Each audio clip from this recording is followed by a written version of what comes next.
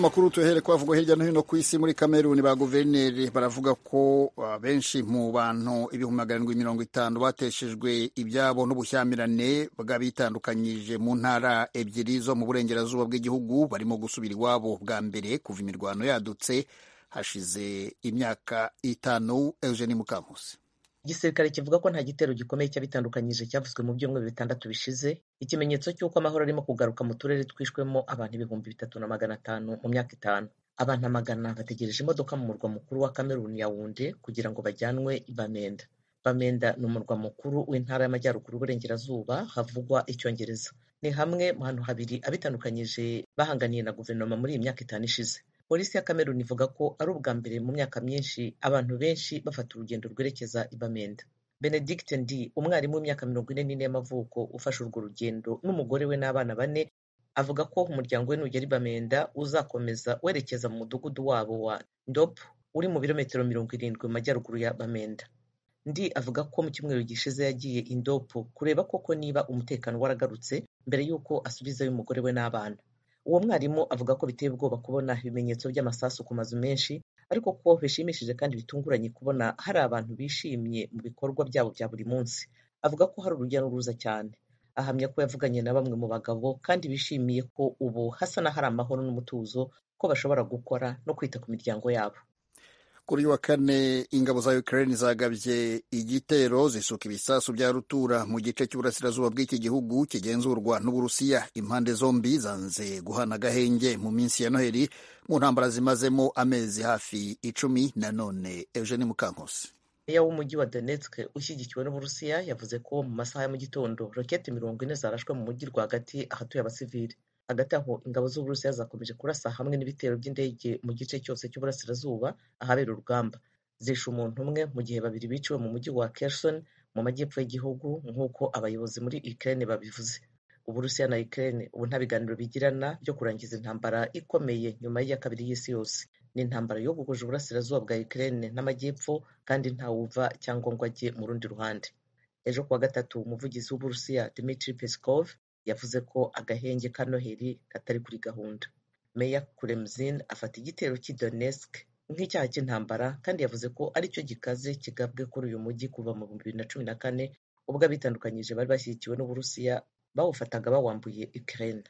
Yavuze ko imibare ya mbere yagereranyaga ko abantu batanu bakomeretse harimo n'umwana. Ntacyo ukraine yahise ibivugaho ubwo yari bisabwe umujenerali mu ngabo za ukraine muri raporo atanga buri munsi yavuze ko uburusiya bukomeje kwibanda ku mijyi yo mu burasirazuba ya Bakhmut na Avdiivka yongeyeho ko ingabo za Ukraine zasubije inyuma ibitero by'uburusiya mu masaha makumyabiri n'ane ashize.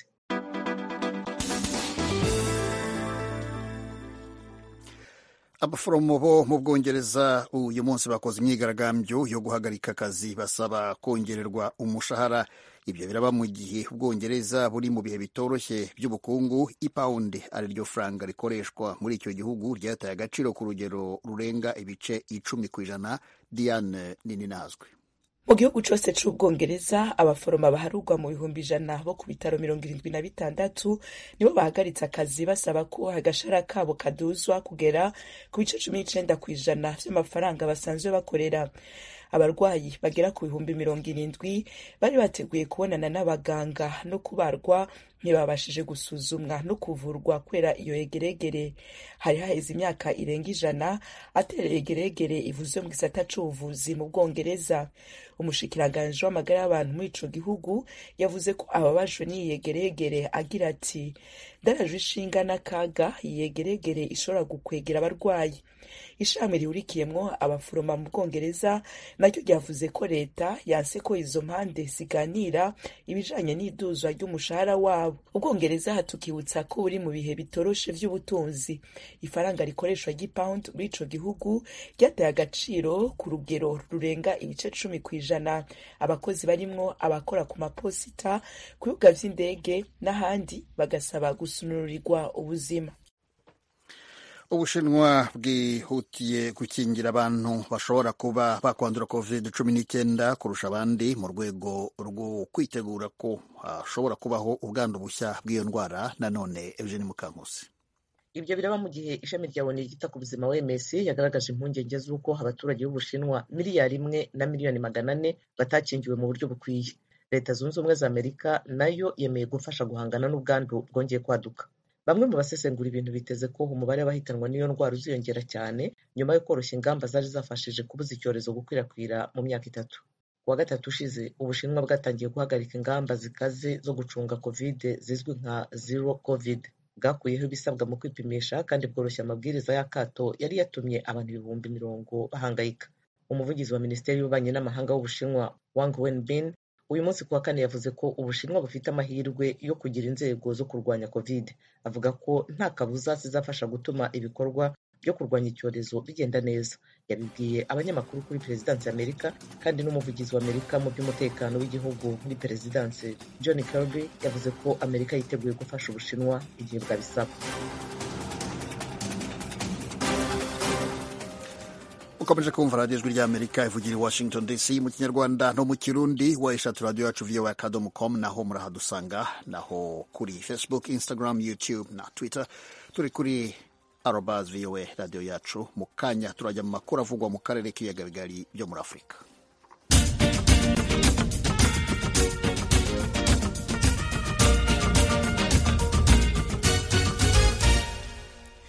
perezida joe biden wa leta zunze ubumwe za amerika amaze kwemerera abayobozi ba afurika ko ashyigikiye ko umugabane wa afurika wagira umwanya wawo mu kanama ka loni gashinzwe umutekano no mu itsinda ry'ibihugu bikize bakunze kwita G20 cyangwa se G makumyabiri. Abivugiye mu nama irimo kwiga ku ruhare rwa Amerika mu gushyigikira icyerekezo cya makumyabiri mirongo itandatu na gatatu cy'umuryango wa Afurika yunze ubumwe ku murongo wa telefone ndi kumwe n'intumwa yihariye y'ijwi rya Amerika muri iyo nama Edi Rwema wongeye kwirirwa. Wiriwe neza Geoffrey Mutagoma. Iri jambo Biden avuze ryo gushyigikira ko Afurika yagira umwanya uhoraho mu kanama ka Loni gashinzwe umutekano no mu itsinda ry'ibihugu bikize ryakiriwe rite? Ni ijambo ribaye rije ritunguranye cyangwa ryari ryitezwe? Byanugwanugwaga nk'uko babivuga abategetsi benshi bari babitegereje cyane cyane ko bakomeje gusaba ko afurika yabona umwanya uhoraho mu kanama k'umutekano mu muryango wa afurika yunze ubumwe. Perezida biden rero akaba yavuze ko agiye gushyigikira ivugururwa ry'ako kanama kagize amahoro n'umutekano kugira ngo afurika ibone umwanya wayo uyikwiye muri ako kanama.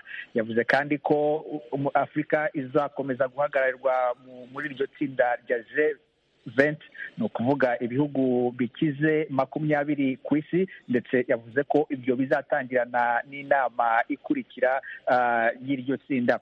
Mu bindi bintu bikomeye cyane Biden yatangaje asa nkaho avuga ko agiye gutangiza kugira ngo arusheho kunoza umubano wa Amerika n'ibihugu bya Afurika yavuze ko muri uyu mugambi cyangwa se icyerekezo cya Afurika cyo mu bihumbi bibiri na mirongo itandatu na mirongo itandatu na gatatu leta zunze ubumwe za Amerika igiye kugishoramo miliyari mirongo itanu n'eshanu zose. Ayo mafaranga Biden akaba avuga ko agiye gufasha cyane cyane guteza imbere abaturage b'afurika guteza imbere ibikorwa remezo ndetse anavuga ko azanasaba ko umwenda ibihugu bya afurika bibereyemo amahanga wahanagurwa kugira ngo ayo mafaranga byatangaga kuri iyo myenda ashobore gufasha kugira ngo azamure imibereho myiza y'abaturage ndetse yanavuze ko agiye gusaba kongere ye ko yaguriza ikigega mpuzamahanga cy'imari miliyari makumyabiri n'imwe izifashishwa n'ibihugu bya afurika kugira ngo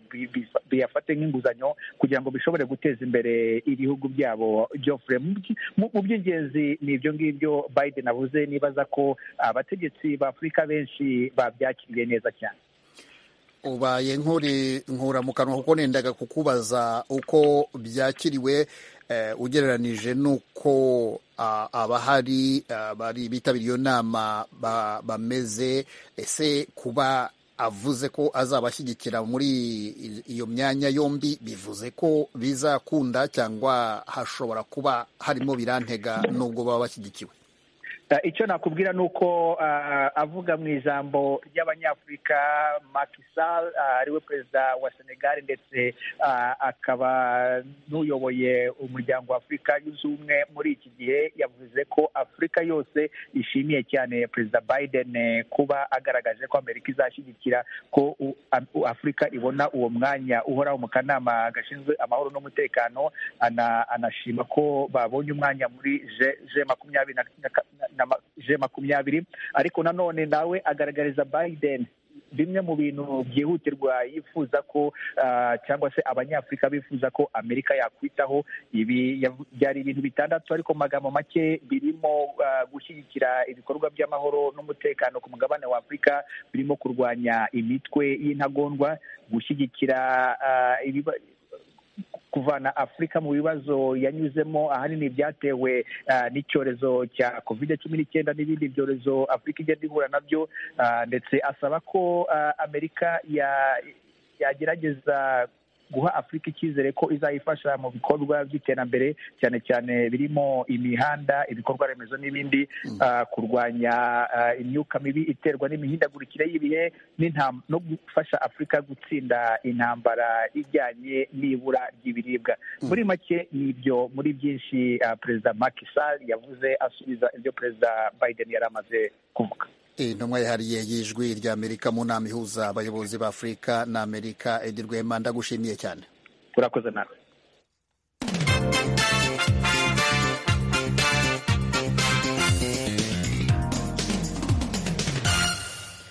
Tujya mu rwanda aho kuri wa kane abadepite mu nteko ishinga amategeko bagejejweho raporo igaragaza uko ibibazo byugarije abaturage mu rwego rw'iterambere bihagaze. Muri ibyo humvikanamo abafite ubumuga bakibangamiwe no kubona insimburangingo n'ubundi bufasha bw'ibanze. Eric bagira ubusa iyo raporo yagejejwe ku nteko rusange umutwe w'abadepite ikubiyemo ibibazo abahagarariye intumwa za rubanda bavuga ko babonye mu gihe gisatira ukwezi. Ni ingendo bakoze kuva ku itariki ya cumi na zirindwi z'ukwezi kwa cumi na kumwe kugeza ku itariki eshanu z'ukwezi kwa gatanu muri uku kwezi mu gihugu hose.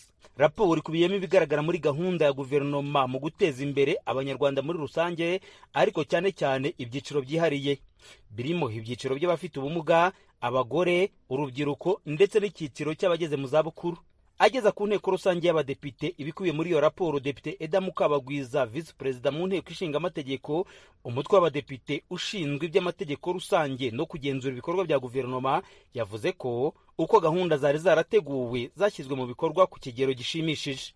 Gusa visi perezida mu nteko ishinga amategeko umutwe w'abadepite ntiyabuze kugaragaza ahakiri ibibazo binakomeye mu byiciro byihariye by'abanyarwanda.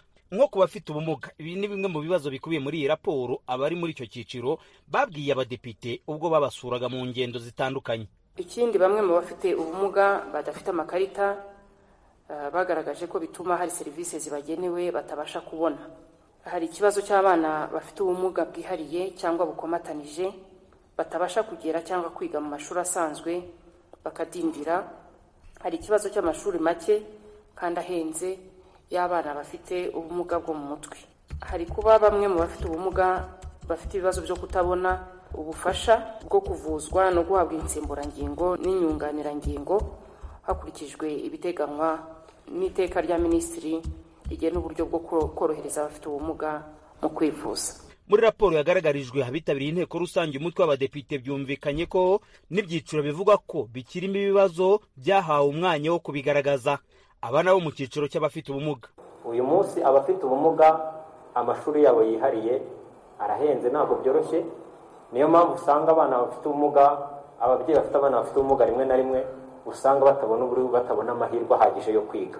Imbago ziratugora. Mudukoreye ubuvugizi ku buryo imbago n'insimburangingo zishobora guhuzwa na mituweli mbese ikajya mu bwisungane. Kugira ngo nitujya tujya gushaka imbago bitworohere byadufasha mudukorera ubuvugizi mu nteko ishinga amategeko.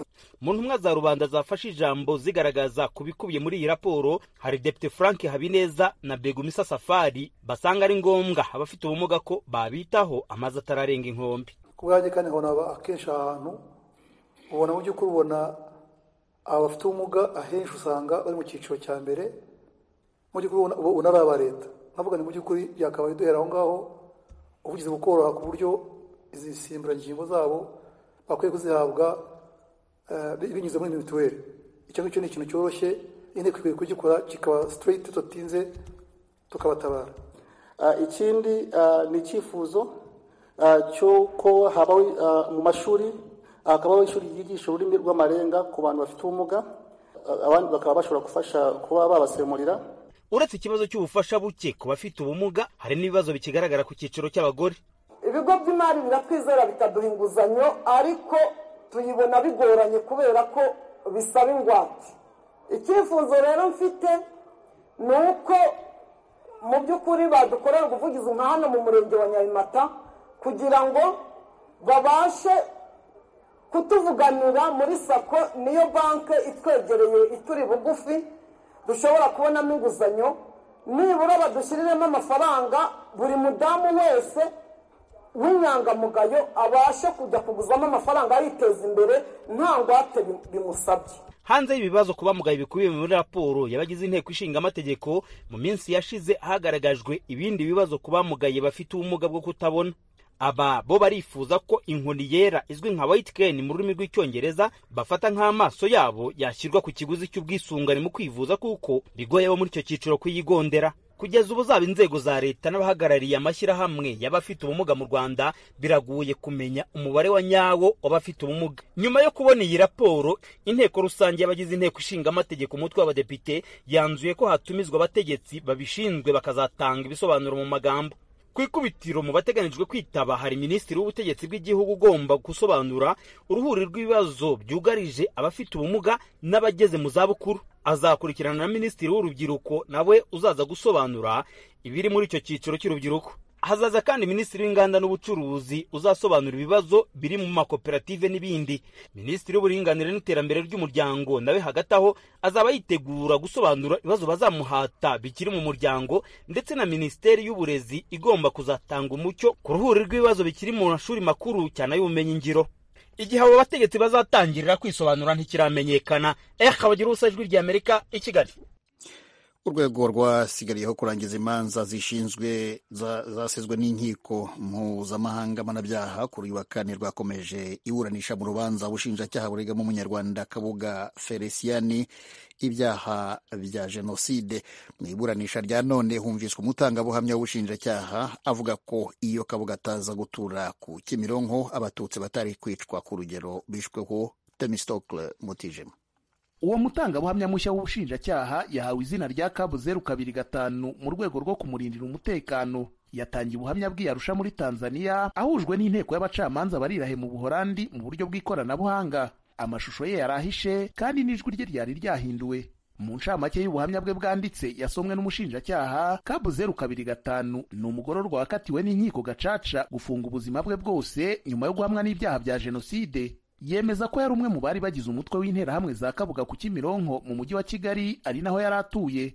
Muri iyi ncamake avugamo ko yaba kabuga na ruhumuriza feniyasi wari mu buyobozi bw'interahamwe mu mujyi wa kigali bari bafite interahamwe zabo ku kimironko. Icyakora akavuga ko interahamwe za kabuga arizo zari zikomeye cyane kandi zishe abatutsi benshi uyu mutangabuhamya yavuze ko iyo ruhumuriza na kabuga bataza gutura ku kimironko abatutsi baho batari kwicwa ku rugero bishweho. By'umwihariko kuri kabuga we umutangabuhamya yemeza ko mbere y'uko jenoside itangira yahaye interahamwe z'imbunda n'imihoro zaje gukoresha mu kwica abatutsi muri jenoside. Mu ncamake ye arondora amazina y'abatutsi avuga ko bishwaho ku kimironko bikozwe n'interahamwe za kabuga n'iza feniyasi aha akavuga ko hari n'uwitwaga jean pierre nzaramba wavanywe mu rugo rwe akicirwa kuri bariyeri yari imbere yo kwa kabuga. Uyu mutangabuhamya yavuze ko hari umusirikare witwaga kapiteni simbikangwa wakoranaga bya hafi n'uwitwa emmanuel mugabo bahimbaga rukwengeri wari ukuriye interahamwe mu bice bya kimironko na remera. Kabu zeru kabiri gatanu akavuga ko uyu kapiteni simbikangwa ari we wahaye rukwengeri urutonde ruriho abatutsi makumyabiri na batanu bo muri kimironko byavugwaga ko bohereje abana babo mu nkotanyi. Umutangabuhamya avuga ko urwo rutonde rwahawe interahamwe za kabuga nazo zigahiga abagize imiryango yabo makumyabiri na batanu benshi bakicwa harimo n'abagore n'abana. Umutangabuhamya kandi yabwiye urukiko ko mu kuzenguruka kimironko zihiga abatutsi interahamwe zagendaga mu modoka yo mu bwoko bwa dayihatsu y'ibara ry'ubururu yanditseho amazina ya kabuga. Umunyamategeko francoise mate wunganira kabuga yabajije umutangabuhamya ko kwivuguruza kuri hagati y'ubuhamya arimo gutanga n'ibyanditse mu ibaruwa yandikiye umushinjacyaha mukuru ni ku ngingo ijyanye n'ahakorerwaga imyitozo y'interahamwe hagati yo kwa ruhumuriza no kwa kabuga. Mu ibaruwa avugamo ko amatsinda atandukanye y'interahamwe yakoreraga imyitozo kwa ruhumuriza akaba ari naho zihagurukira zigiye igabiro guhabwa imyitozo ya gisirikare. Nyamara mu rukiko akavuga ko zitorezaga kwa kabuga. Umutangabuhamya yahakanye ko atavuze ko interahamwe zitoreje cyangwa ngo zihagurukire kwa ruhumuriza ahubwo yavuze kwa kabuga ko ruhumuriza na kabuga bari baturanye ariko ingo zabo zari zitandukanye uwunganira kabuga kandi yamubajije niba interahamwe nazo zarajyaga ku rugamba kurwana n'inkotanyi. Umutangabuhamya kabu zeru kabiri gatanu aha yasubije ko atigeze abona zijya ku rugamba abasirikare ba leta aribo barwanaga n'inkotanyi. Umwe mu bacamanza bagize inteko iburanisha yabajije umutangabuhamya uburyo yabashaga kumenya ko interahamwe za kabuga arizo zisha abatutsi bitakozwe n'iza ruhumuriza mu gihe avuga ko bombi bari bafite interahamwe zabo aho umutangabuhamya yasubije ko interahamwe za kabuga yari azizi neza kandi yagize uruhare mu bwicanyi ari hamwe nazo. Mbere yo kumva ubuhamya bwa kabu zeru kabiri gatanu abagize inteko iburanisha babanje kubaza ibibazo bisoza ubuhamya bwa kabu zeru kane gatanu wasoje ubuhamya bwe kuri uyu wa gatatu. Umucamanza de guzman yamusomeye amwe mu magambo akubiye mu buhamya bwe bwanditse aho avugamo ko bamusabye kujya gushaka interahamwe nyinshi zishoboka no kuziha ubutumwa aho umutangabuhamya yahakanye ko ibyo ntabyo yigeze avuga nta n'uruhare yigeze agira mu guhamagarira abantu kujya mu nterahamwe. Yavuze ko atunguwe no kumva mu buhamya bwe harimo ibintu nk'ibyo kuko ntabyo yigeze avuga. Umucamanza Ian Bonomi yamubajije ku byo yabwiye urukiko ko uwari ukuriye interahamwe zo kwa Kabuga witwa Haje Abakiga yamubwiye ko abazajya bamubaza azajya babwira ko aho kwa Kabuga bahigira imbyino gusa nta kindi. Amubaza indi myitozo yaba yarumvise ko yaberagaho umutangabuhamya kabu zeru kane gatanu yasubije ko bamwe mu nterahamwe bajyanwaga gutorezwa igabiro na gako mu bigo bya gisirikare nabo bagaruka bagatoza interahamwe zasigaye. Amubajije ubwoko bw'imyitozo bahabwaga asubiza ko atayimenya. Iburanisha rya none ryarangiranye n'ubuhamya bw'aba batangabuhamya bombi. Urubanza ruzasubukurwa ku wa kabiri w'icyumweru gitaha hakomeza kumvwa abatangabuhamya b'ubushinjacyaha. Kugeza ubu kabuga ntarahabwa umwanya wo kugira icyo avuga ku byo ashinjwa kuva urubanza rutangiye kuburanishwa mu mizi gusa mu maburanisha yabanje yahakanye ibyaha byose aregwa avuga ko ari ibinyoma watigeze yanga abatutsi. Temistokle mutijima atubwira iby'urubanza rw'umunyarwanda kabuga felicien noneho